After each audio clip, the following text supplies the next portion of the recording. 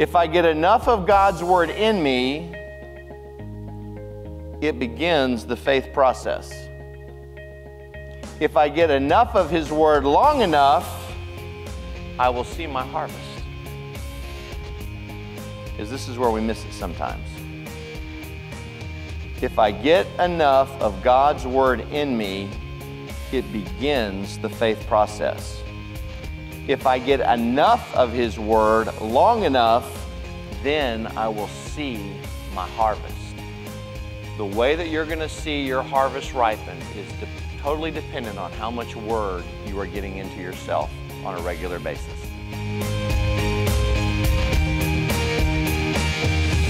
Tell you what, if it wasn't for the Lord, you know, if it really just wasn't for the Lord, just thank you, Lord. Where would we be without Jesus? I mean, that's such a cliche, isn't it? But where would we really be without Jesus Christ? You know, I am, you know, just when you think you've heard it and seen it all, somebody will go figure out another way to do something bad to another person. You know? And it just seems like the, the, the dark's getting darker, but the light's getting lighter. And uh, I know a lot of this has to do with end times and things like that, amen. But you really have to stay anchored in love. You really do, you know, because you don't want your heart to get hard. You don't want to be calloused because there's so much pain in the world right now. There's just so much, um, you know, we just don't, don't ever take for granted that sweet Savior that lives in your heart. And, uh, you know, one day maybe when we get to heaven, an angel's going to hand you a DVD. And he's going to say, These are all the times that I intervened that you didn't even know about and protected you from some of the most ungodly, unmerciful torment this world has ever seen. Amen? It's good to, you have to know the Lord in these days. There's just no way you're going to make it without having Jesus. Amen? There's just no way. Well, I want to talk tonight about faith. Amen? But I want to continue to talk about tonight the process of faith. And my dad kind of hit on it a little bit when we were, um, when he was doing the transition. And, you know, why don't we see things immediately? Amen? That's a valid question. Have you ever wondered? Have you ever wondered what the, why that thing that you're believing for hasn't happened yet?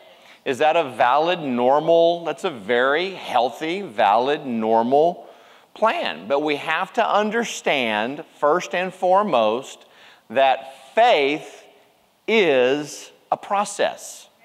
Amen. And there's a reason that God set it up this way. As I was sitting over there in worship, I just got a picture of and it's when we're, we're using our faith, it's kind of like you have an imaginary rope connected to whatever it is that you're believing for.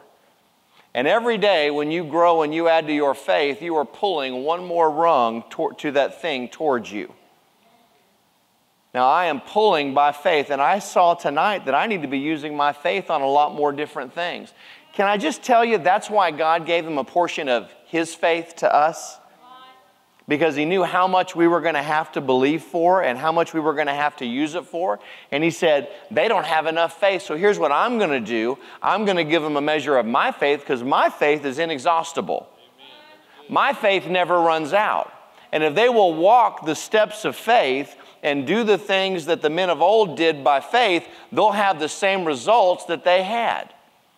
So when I am using my faith and I am speaking the word, I am pulling whatever it is, that thing that I'm believing is, towards me.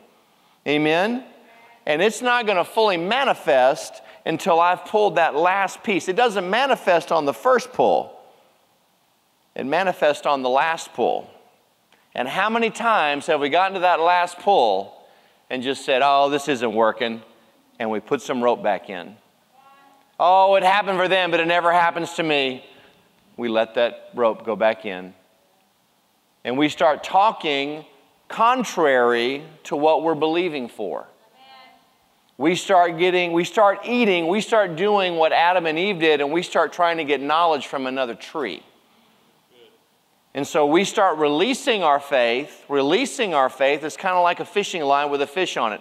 I am pulling. Faith is a pull. Amen?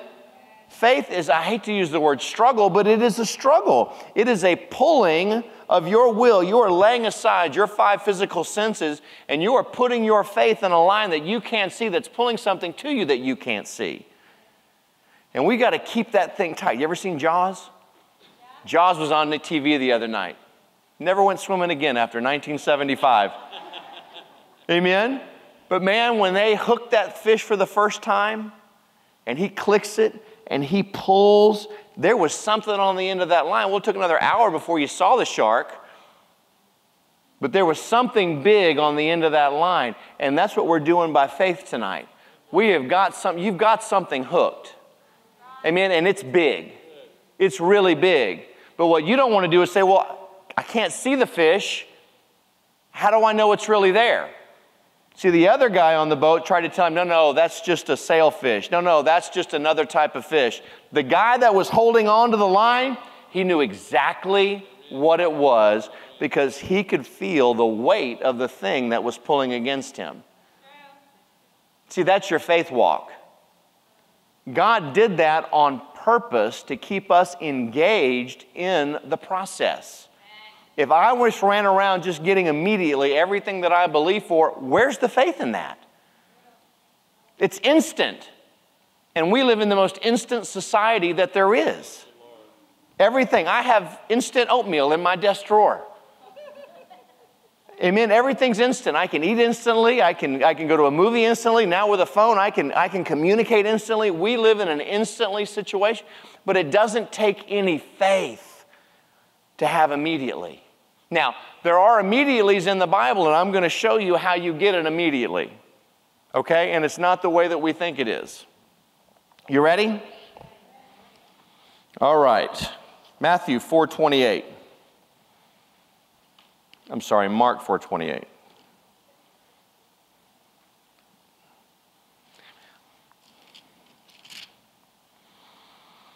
It says, The earth produces, acting by itself, first the blade, then the ear, then the full grain in the ear. But when the grain is ripe and permits, immediately he sends forth the reapers and puts in the sickle because the harvest stands ready. You will see your immediately when your harvest ripens. Now, right there in that verse, he lists the entire process of faith. And I want you to notice that you have the long standing time, amen, beginning in verse 28, where it says, First the blade, then the head, and after that, the full grain in the head. Does that happen overnight? Is there any crop that you can plant today that you'll get a harvest from tomorrow in the plant world? Not anything that you could eat, right? Like if I wanted a loaf of bread, if I planted a wheat seed tonight, am I going to have bread tomorrow? How long is it going to take? Any farmers? How long does a harvest take for wheat? Corn? Oh my gosh. If there's an apocalypse, we're doomed. We're all going to make a run on Walmart and get all the canned food. Quick, everybody, get a can opener. We're going to make it. No. But how long does it take? What's a harvest, a, car, a corn harvest? Come, come on, Steve, help me out. Two months. Two months. Amen. Six months. Fidel in the back says six months to get a harvest sometimes from a seed you've sown. And then do you notice that it says when it ripens, then immediately? See, sometimes when you see people getting the end of their faith project and you think, oh, that was immediately, no, no, no. You have no idea how long they've been standing because they've planted that seed. It could have been six months, it could have been a year. But when you see it, you go, oh, it was immediately. Well, yeah, it was immediately, but they had gone through the process and the steps of faith, had been faithful they stood and believed, they watered. Amen? And then immediately, when it ripened, then it was time to get harvested. Do you ever hear somebody that's been around for 40 years and then they say, oh, this person just burst onto the scene? They were, they were an overnight sensation. No, they weren't. They've been working their tails off for 20 years and they finally got a break. They were finally in the right place at the right time with the right song, got heard by the right producer, and guess what? They're immediately showed up. But without hard work, planting, diligence, integrity, character, and faith, there never will be an immediately. It's just hoping and wishing. It's just hoping and wishing. Now, look, if you want to get a harvest, this is going to be the most technical part of my service tonight, okay? If you want a harvest, you have to plant seed. That's deep. I'm going to say it again. If you want to get a harvest, you have to plant seed. It is the system that God put in place in the book of Genesis. The second thing that He gave man, first thing He gave man was dominion. Second thing that He gave him was seed. Your seed is the key to your future. We were never supposed to live, have a living. We were supposed to have a sowing and a reaping and a harvesting. That's how God set it up for us in the earth. Amen? So, why don't we see instant results? It's because that would not take any faith. John 20, 29. It says, Then Jesus told him, because you have seen me, you have believed. Blessed are those who have not seen and yet have believed. Amen? Your faith is only going to be built in the unseen world. Your faith is only going to be seen in the unseen world. Remember, Hebrews 11 1. Now faith is the substance of things hoped for, the evidence of things not seen. Listen, this is important. If you can see it or you can do it yourself, you do not need faith to do it. Amen? If you can see it or you can do it yourself, you don't need any faith to do it. Faith only works in the unseen world. That's the only place that it can grow. So, why don't we see more instant healings? Or why aren't we immediately healed when we pray? You ever wondered about that one? Amen? The Bible says we'll lay hands on the sick and the what? The what? What's recover mean? What's recover mean? Restoration. Does recovery or restoration always take place instantly? There's a process. The Bible uses the word recovery. There is a process at times to your healing. Okay? Listen to me. I believe that when we lay hands on you that you're healed immediately. But the manifestation of the healing is up to you. Healing can be given in a couple of different ways. When Pastor Tracy Harris comes, or Pastor Mary Jean, or Pastor Michelle, Pastor Jack, when someone is operating in the gifts of healing and you receive your healing, you are getting it most of the time off of the speaker's faith because they are walking in that gift. A Benny Hinn meeting, the gifts of healing are in operation. Amen? That is a gift that Benny Hinn walks in, the gifts of healing. But when you and I are laying hands on somebody and we're just doing it by faith, then a lot of times there is going to be a process to that healing. Amen? I've only been healed one time instantly in my whole life. And we were in Africa, we were in Kenya, and I wanted to be um, uh, um, you know, the people there were so hospitable in Kenya, you know. And when you walked by a hut during the morning and there was a little goat playing outside, when you came back at lunch, that goat had been slaughtered and dressed and was being cooked for you to have for dinner that night. That's how much respect and honor they had for Christian people that came to their village. It was an honor. Well, who am I to turn down cabrito? You know what I'm saying? or ram's butt or uh, so hey i'm a man of faith these people have cooked for me Therefore I will eat. Well, I did not have the faith to eat. And I ate and I turned as green as my dad's shirt. And I'll never forget there was a young pastor, sweetest spirit I'd ever seen, who was called to the Luo tribe up in the mountains around Lake Victoria in Kenya. And he, he, he, everything was mountains in Lake Victoria. That's why they win all the marathons, is because they train on mountains and on high altitude. They're just incredible athletes. And so he had a Ninja Turtles backpack. I'll never forget, because that's what he carried all his stuff in, was this little Ninja Turtle. And so we're in one of the night meetings in this hut or whatever, and I'm turning green, and I know that things are about to get real bad real fast. And you're 10,000 miles away from anything or anybody to give you any comfort. And this pastor walked over and put his hand on me and just said, In the name of Jesus. And I was instantly healed. Instantly healed.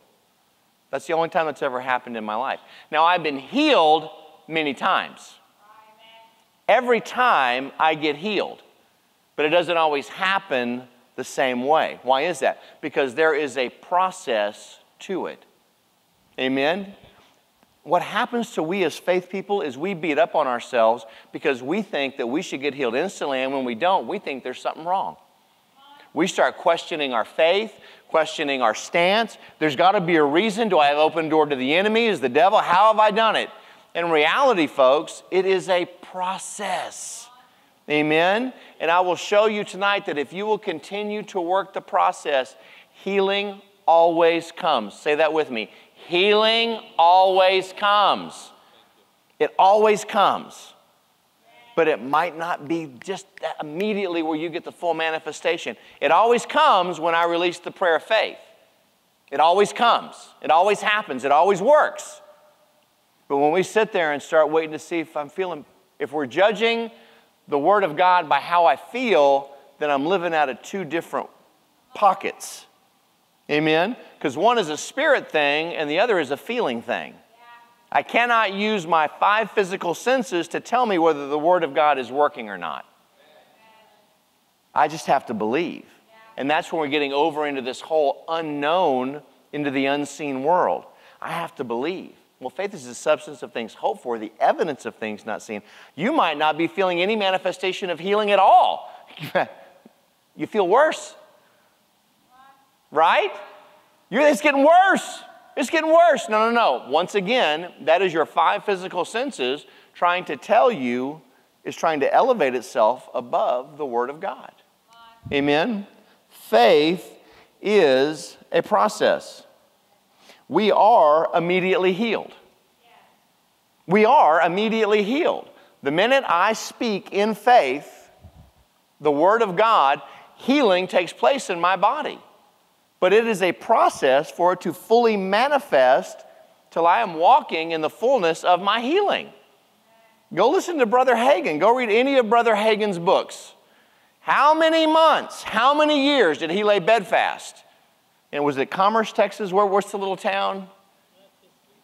McKinney, Texas. He was bed. He was um, when he was born. They did not have incubators and things like that, and he had a deformed heart and he had a blood disease, and he, the boy was messed up. And they would, when he got older, they just gave him, they always said, You're going to die, you're going to die. And even the ministers would come by and just say, Son, just be patient, it'll all be over soon. Well, he got a Bible and he started reading the Bible. And guess what? He started finding out that healing was a part of his covenant. Well, he received his healing, but it was days, months, years before it fully manifested where he was walking completely and totally free but when did he get healed? When he believed. See, you get what you're believing for when you believe. It's not when it manifests that it's yours, it's when you believe. Whatever it is that you're believing for right now, you're not waiting to see it. No, no, I already have it. It should not be a surprise when it shows up because you've already taken ownership of it. Amen. Pastor's pancake story. Amen. Eating the pancakes, 2.4 million, you know, the check that came in. Lord, should I be running naked down the street, excited that the church is paid off? No, because you received it months ago. This was just the process, it, the harvest ripened. And then you go in immediately and you pull in the harvest. Amen? Faith is a process. Luke 4:18 The spirit of the Lord is upon me because he has anointed me to preach the gospel to the poor, heal the brokenhearted, recovery of sight to the blind, to set at liberty him who's oppressed, and to proclaim the favorable and acceptable year of the Lord, the recovery of sight to the blind. And I'll show you an exact example of that verse. Mark chapter 8.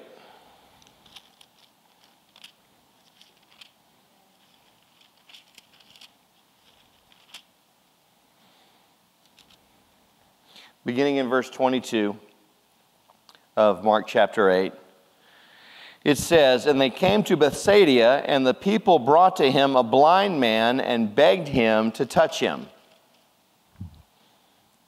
Verse 23 And he caught the blind man by the hand and led him out of the village. And when he had spit on his eyes and put his hands upon him, he asked him, Do you possibly see anything?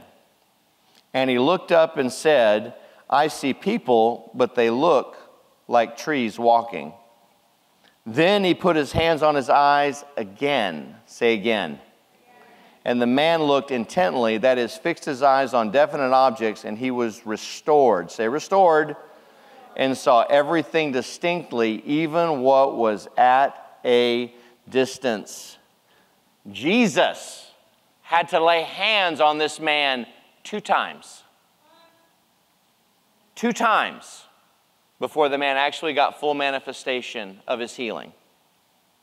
Healing always comes, but sometimes it is a process. Sometimes we can be at such a deficit internally that it takes longer for the word to work for us. That helps answer the questions why do good people, why do bad things happen to good people?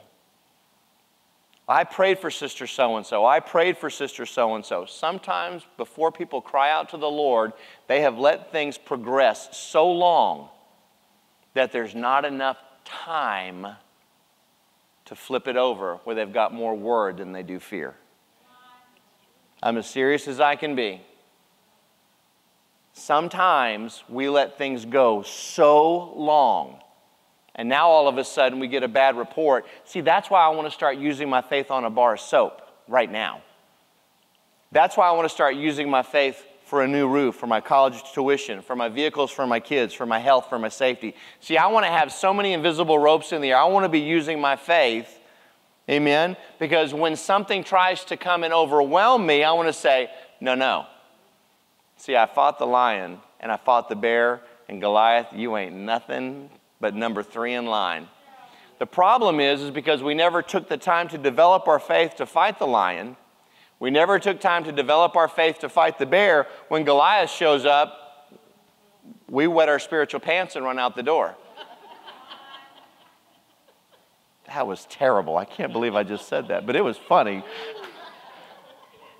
We'll edit that out, won't we, Jonathan? No, leave it in. It was good. We have to be prepared. Amen? We have to be prepared, and that's why we want to use faith is whatever you're using your faith on, you are developing muscle in that area. We constantly, look at me, there is never going to come a time in your life, in this or the afterlife, where you're not using your faith for something. You are always going to be believing God for something. There is never going to be a time in your life where you are going to be allowed to be comfortable because it's the faith that keeps you engaged in the things of God. It's the thing that's building your endurance, it's the thing that's building your strength. It's the thing that you are constantly using. If you don't have something to believe for, call me. I got a good list. You can you take 20 through 30 for me. Amen. Each and every one of us need to have faith projects that we are using. We need to be using our faith every day. You need to be developing that faith every single day. So Jesus laid hands on him two times. So let me ask you when was the man healed? The first time he laid hands on him or the second? The first. Now, did you notice a key line in that scripture, what Jesus did first? Let me show you. Verse 22. And they came to Bethsaida, and the people brought to him a blind man and begged him to touch him. This is the first thing that Jesus did. And he caught the blind man by the hand and led him out of the village. Obviously, in that village, there was more doubt and unbelief than there was faith. Jesus, God, could not operate. Remember when he went to his own hometown, he couldn't do mighty miracles? It's the same situation here. He had to take that man out of where he was and take him to a new place to get him to listen to what he was saying so that he could receive his healing. That's why you got to go to a church that preaches faith. That's why you have to get around the right company of people that know how to believe God. See, when I call somebody, I need somebody that knows how to believe God. I don't need somebody to tell me, oh, just be patient, brother. God works in mysterious ways. His ways are higher than our ways, Jack, and you just never know what God's going to do. I know exactly what God's going to do under every circumstance and every situation because He says so in His Word. And when you get to that point where you believe, see, some of you moms, you know how to believe. Some of you ladies, you know how to believe. Amen. That's why Moses sent all the ladies to get everything from the Egyptians before they left town. Because those ladies say, We know where it all is, and we're not leaving until we get it all. Amen. Hebrews chapter 6. Am I helping anybody tonight?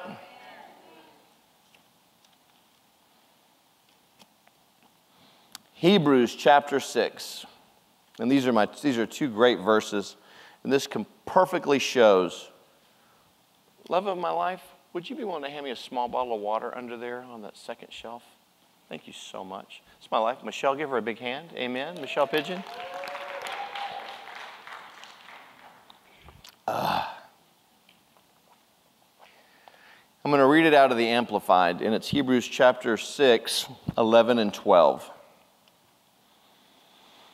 It says, But we do strongly and earnestly desire for each of you to show the same diligence and sincerity all the way through in realizing and enjoying the full assurance and development of your hope until the end. In order that you may not grow disinterested and become spiritual sluggards, but imitators, behaving as do those who through faith, by their leaning of the entire personality on God in Christ, in absolute trust and confidence in his power and wisdom and goodness, and by practice of patient endurance and waiting, are now inheriting the promise. You cannot develop any endurance or patience if you are constantly getting things immediately. When we are using our faith all day and every day, it is keeping us engaged in the process. When I am not believing God for something, the Bible just says that I am a spiritual sluggard. If you are not using your faith for something right now, you are a spiritual sluggard. That's, that's harsh but that's the truth. This is the process. We are constantly going to be pulling on those ropes, believing God for things. Folks, even when we get to heaven, you're still going to have to use your faith. Amen? Do you know Adam and Eve had to use their faith? Even before they fell, they were created to walk by faith, just like you and I are. Now, there was no contaminants, but they still had to use their faith. You and I, even in the next age, are going to have to use our faith. And God gives us this because we need endurance. We need to learn patience. We need to learn how to stand. Amen? Because that's where your strength is. That's when an earthquake comes, you speak to that earthquake. When a fire comes, you speak to that fire. Because we have been so diligently trained and patient in standing and believing God that we're not moved by what we see. We're not moved by what we hear. We're not moved by what the television says. I believe God. I put His word first place. And it's so easy to say. But I want us to each examine our lives and you let's find out really who's really the God of our life. How many areas of my life am I the God? I'm my provider. I made that decision. See, we use faith sometimes like we're going to Luby's. I'll have a little of this and a little of that, spoonful of this, but I don't want that. No, I definitely don't want that. I don't know what that is. Can I get that on the Luann? No. we have to use our faith. See, God's interested in the whole man. He's interested in every area of our life. It's not always just faith for material goods. We should all be believing God for the lost. Amen? Every single one of us should be using our faith nonstop every day. You should have a list of people that you pray for every day. Every day we should be laying hands. We should be adding to that list. Father, I just thank you. I just claim them for my family. I've been praying for a group of guys and I'm seeing breakthrough in their lives. I'm getting one on one conversations with them. See, the funny thing is, I prayed that Lord release laborers into the harvest, and He said, Guess what? You're the laborer. Go release yourself. Okay. Did a wedding for a guy. Been praying for him.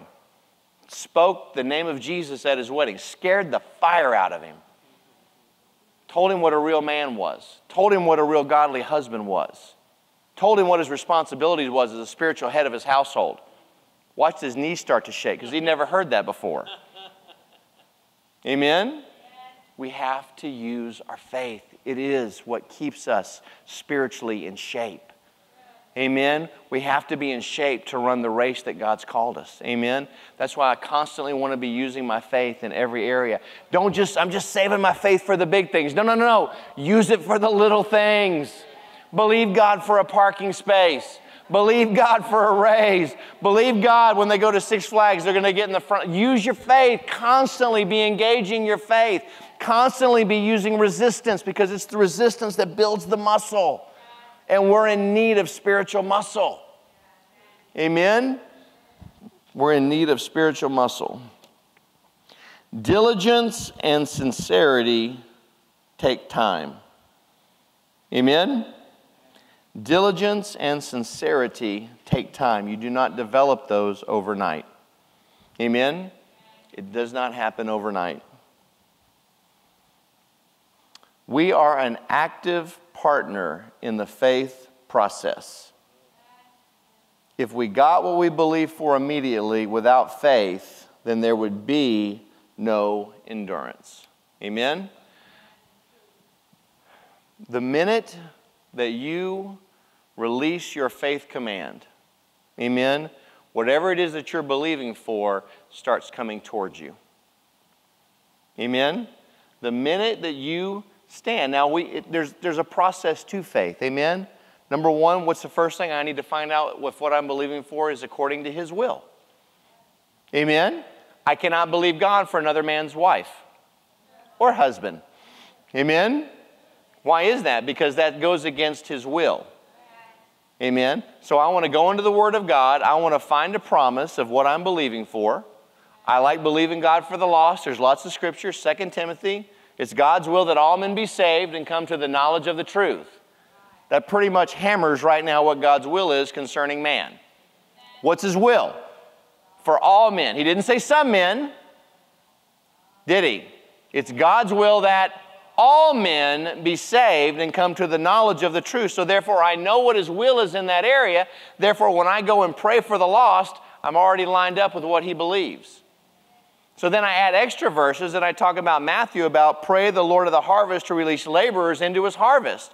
So now I know what his will is. Now I'm praying an active prayer of now sending people to go in and get them. And then I add Second Corinthians that tells me that today is the day, that now is the acceptable time for salvation. So I'm believing God right now, according to his will, that there's laborers released into their harvest, and that I can believe immediately and now that they'll be saved I am loaded for bear. That is the process of faith. And I lay my hands on that card each morning, not almost every morning. There are other times where I'm praying for other things. And I call them by name, and I just thank you, God, that today, X, Y, Z, and the list keeps growing. amen, are going to be saved into the household of faith.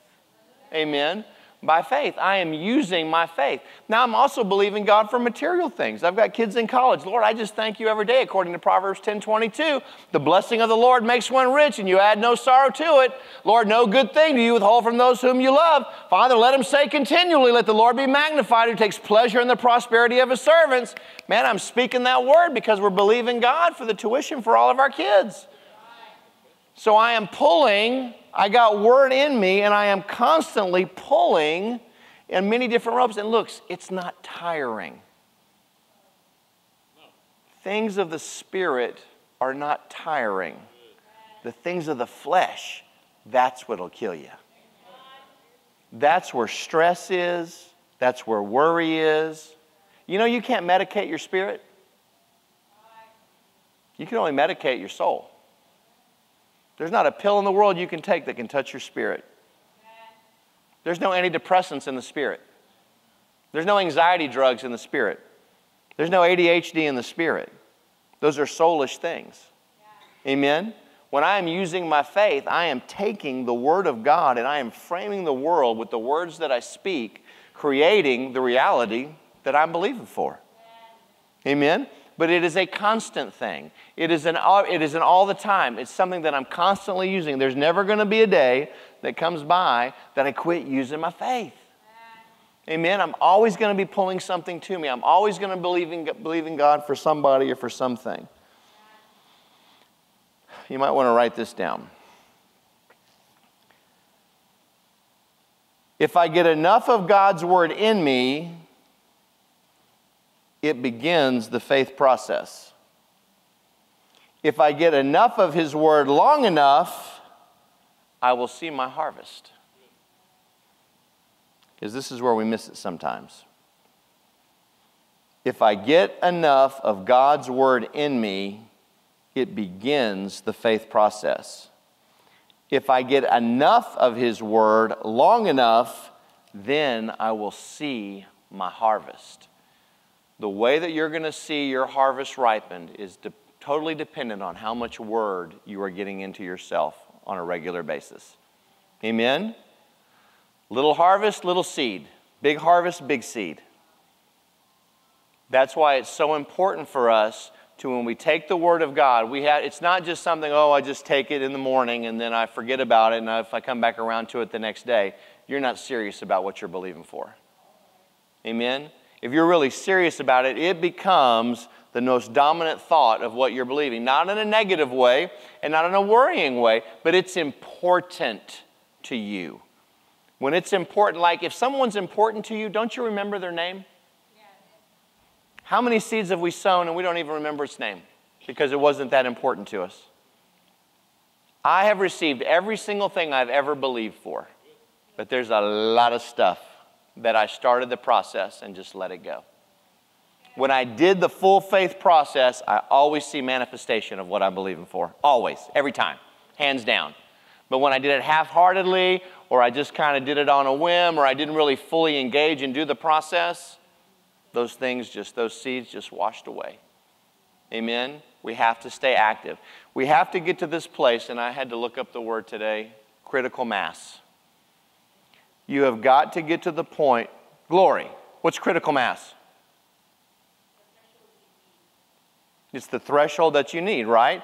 In order to even obtain a minimum response, there has to be enough of a stimuli or something to produce critical mass in something. We have to get that way with our faith. When you get to your faith to critical mass, that means you've got one more thought of faith than you do of fear. When faith is ruling and fear is not, you are going to see the manifestation of what you're believing for. But you have to keep it in your eyes. You have to keep it in your ears. You have to keep it coming out of your mouth. You have to turn off the television. You have to turn off the TV. You have to turn off all the other the, the distractions in the world. You have to get some people out of your life because they don't know how to talk. You got to get away. Jesus had to get that man out of Bethsaida because those people didn't know how to talk. They were talking him to death. They had to get him someplace where he could, where he could not hear them anymore. There's family members you need to separate from because they're speaking death over your situation. You, if you're serious And I've heard many great faith preachers, when they had a situation where a family member or somebody was in the hospital, they put a sign on the door. You walk in this room and you say one word contrary to the Word of God. You come in this room and you say one thing that doesn't line up with the Word, you will be escorted out physically because we are serious about what's happening in this room. Don't you come in there with that, oh, it'll be over soon. Don't come in with your platitudes and your foolish emotional, well, you'll be in a better place. No, no, no. You want somebody to walk in that hospital room that starts speaking the Word of God. You want somebody to walk in there and start kicking devil's butts and knocking things over and speaking the Word over that situation. I don't need comfort. I don't need any comfort. I need you to come slap me around. Speak the Word. Speak the word only. Now I'll finish with this Proverbs 4 20 and 22. Remember, it says that God's word is like medicine. Remember that. God's word, whatever area of your life that you need medicine, God's word is the answer. But let me ask you this even in the earthly things, is there any medicine that you only take one time? No. If you get any type of a prescription or anything like that, this prescription is very detailed on the bottle. Does it say take one whenever you feel like it? Does it say take one? Ah, take one, take two or three a day, but it doesn't really matter when or where or what time or no, no. There is a methodical pathway to healing through medicine. It's the same way through the Word of God. Take it in the morning, take it with food. Take it at lunch, take it with food. Take it at dinner, Amen? You want to, if the word is like medicine, you want to take it like a medicine. You want to finish the bottle and you want to follow the instructions. Amen? Don't try and outthink the doctor. I know better. Amen? I'm going to follow that prescription. The Bible is a prescription for life for the believer. If you will take his word like medicine, Healing starts when you take the first dose. You're going to see the full manifestation when you finish the bottle. The Bible is the exact same way. You want to take that first dose. I believe that I'm healed when I took that first dose.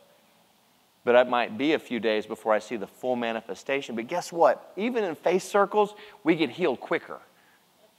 Maybe we do have to go through the process and maybe we do feel a little bit bad, but guess what? You're not spending six months, eight months, 10 months. You might go through something. For somebody, it might be six weeks. For you, it's just a week.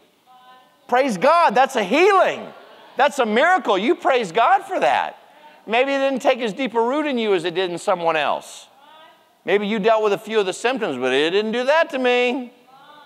Amen? Because that's the word, because you are working. That word is working in you healing is faster than death. Amen? It works faster. That's why you want to get it quick, though. You want to get on it fast. You don't want to wait. I want to start applying the word. Get on a, get on a health program where I, now I am re- eating on the Word of God. So I'm in a preventative program so it doesn't even attack me. How about getting an inoculation or a vaccine of the word where I walk in healing? I don't have to get a flu shot. I got an Isaiah 53 shot.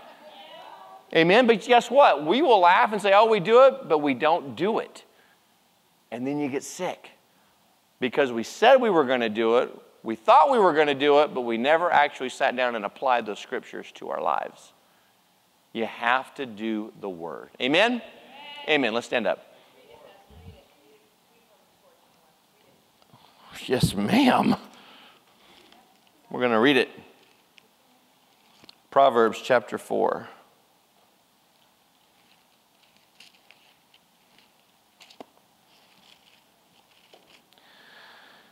Proverbs chapter 4, verse 20. My son, attend to my words, consent and submit to my sayings. Let them not depart from your sight, keep them in the center of your heart for they are life to those who find them, and healing and health to all their flesh. Keep and guard your heart with all diligence, and above all that you guard, for out of it flows the springs of life. Put away from you false and dishonest speech and willful and contrary talk. Put far from you. Amen. Keep the word in front of your eyes. Keep the word in your ears. Keep the word coming out of your mouth. Keep the word. Talk the word with your spouse. Talk the word with your friends. Talk the word to yourself. If you just got to get in the mirror and talk to somebody with some sense, do that. Just speak the word to yourself. Amen. But say it out loud. You need to hear yourself say it. It doesn't say think on the word, it says speak the word. Amen. Father, we thank you for tonight. We thank you, Lord, for the word of God that is both quick and powerful and sharper than any two edged sword. And I thank you right now, Lord, that the word is working mightily in each and every one of us. I thank you, Lord, for just revelation. It's not the word that you know, it's the word that you have revelation of that's going to bring the healing. And it takes time to get a revelation. Amen. Lord, I'm asking you, Lord, for revelation for each and every one of us through the word. I'm asking you, Lord, to just display yourself, Lord, through the word of God to each and every one of us. In Jesus' mighty name. Amen. Amen. Love you. We'll see you Sunday.